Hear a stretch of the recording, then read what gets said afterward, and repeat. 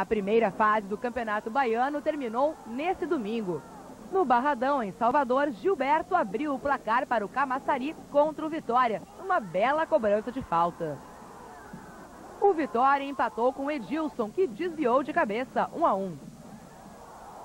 Quatro minutos depois, o atacante Zé Roberto garantiu a vitória de virada por 2 a 1 do rubro-negro baiano, que está invicto a oito jogos no estadual e vai enfrentar o